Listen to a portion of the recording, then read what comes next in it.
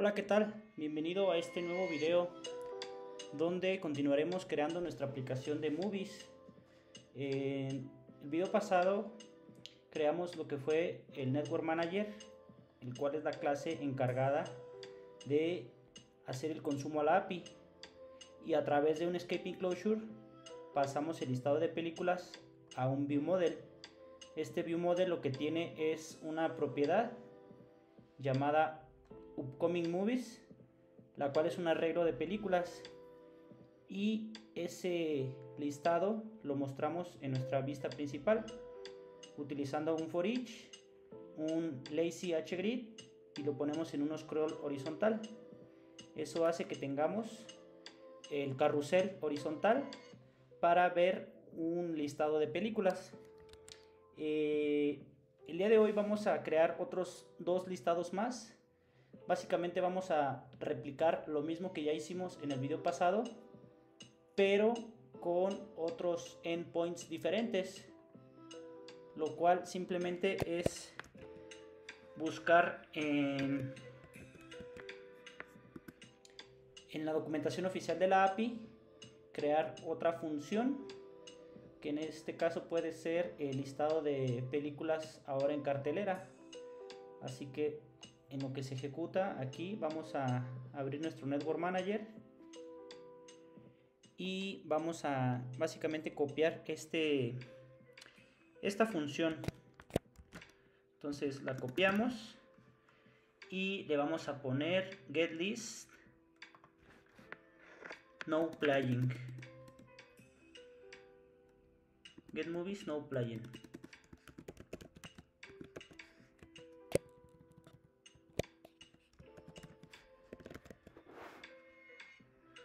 Y el endpoint que vamos a estar agregando.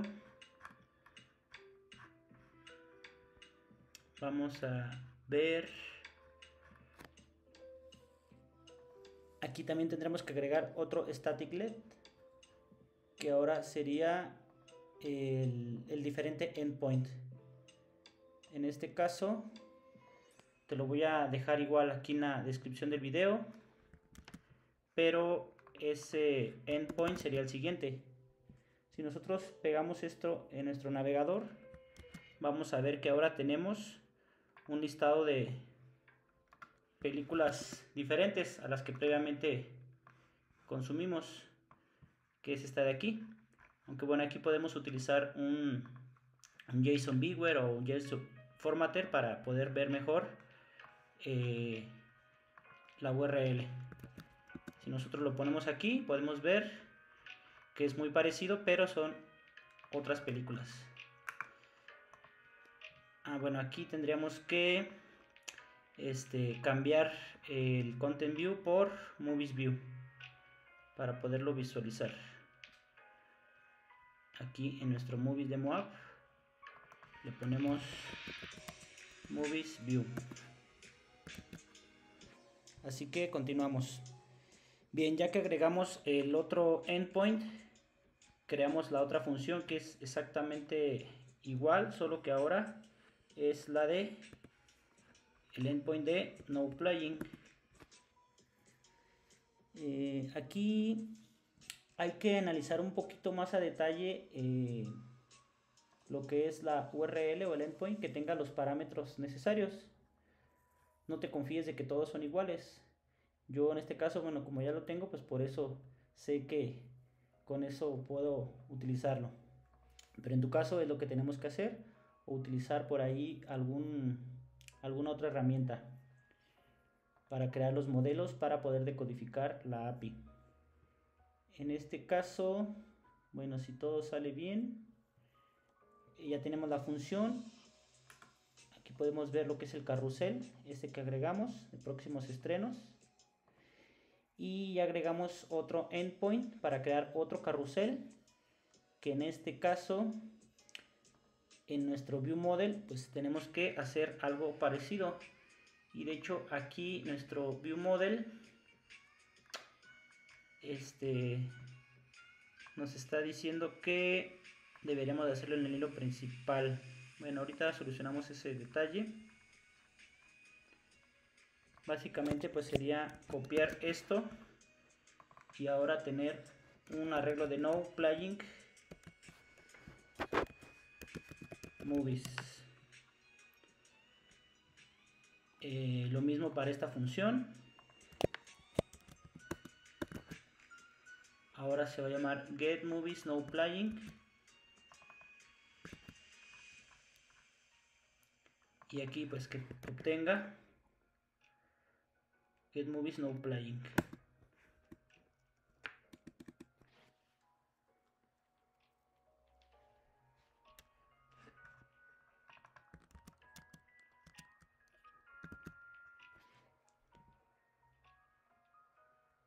Revisamos poquito y aquí bueno en vez de poner upcoming movies decimos que no playing movies que es nuestro arreglo.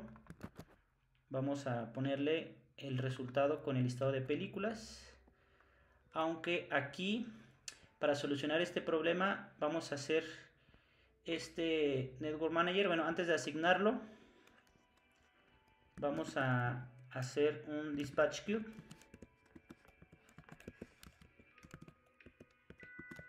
para ejecutarlo en el hilo principal.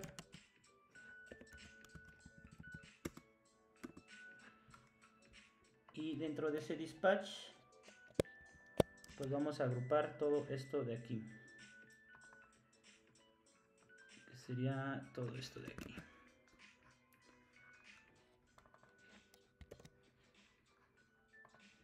Ahora sí, cuando ejecutemos nuevamente ya se va a quitar ese error y lo mismo tendríamos que hacer para eh, esta otra función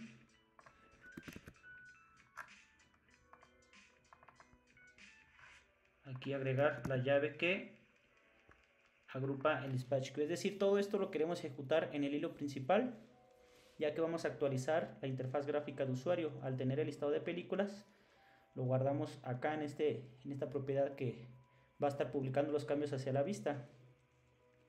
Y en este caso aquí, en nuestro inicializador, pues cuando se haga la instancia del view model, queremos que en automático busque ese nuevo listado de películas. Y en nuestra vista principal, simplemente bastará con copiar este scroll view.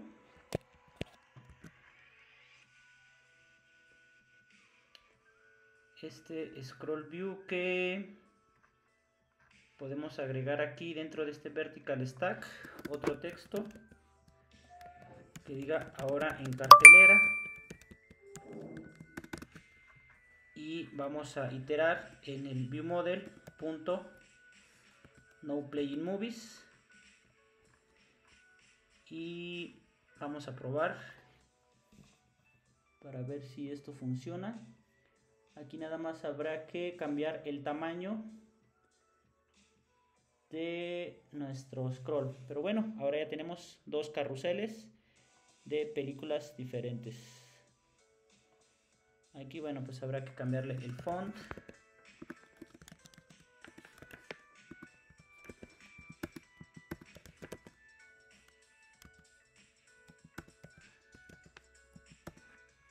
Pero listo.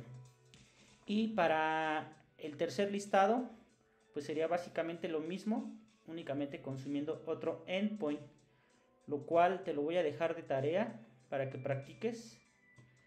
Y el endpoint que vamos a estar agregando es en nuestro Network Manager.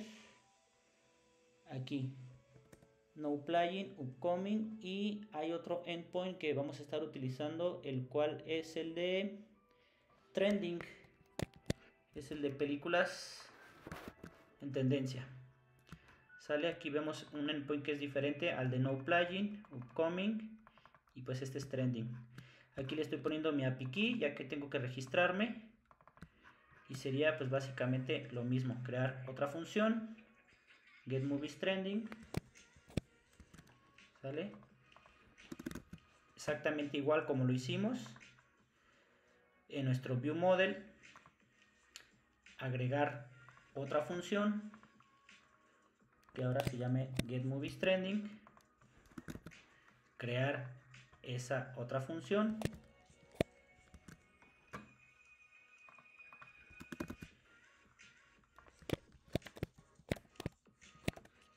y vamos a tener una, un arreglo que se va a llamar Trending Movies, que va a ser igual a este que tenemos aquí. Trending Movies. Y listo. Ah, bueno, aquí estos errores los vamos a comentar ya que es el manejo de errores que te había comentado el video pasado que podemos implementar más adelante para mostrarle al usuario una alerta, un mensaje de error en caso de que pues algo por ahí este, haya pasado, ¿no?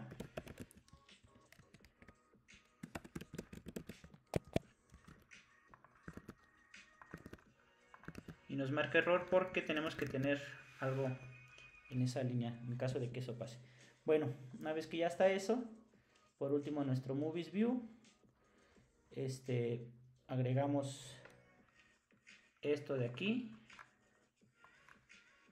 Y le decimos que ahora va a ser tendencia.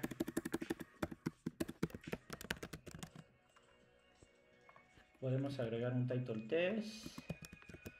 For font weight semi bold y entonces aquí vamos a iterar en trending movies y este KF le podemos cambiar por ejemplo a pues sí puede ser más grande por ejemplo 250 por 220 igual aquí lo podemos cambiar a 190 por 260 ejecutamos una vez más y con eso ya tendríamos eh, tres carruseles en nuestra vista principal.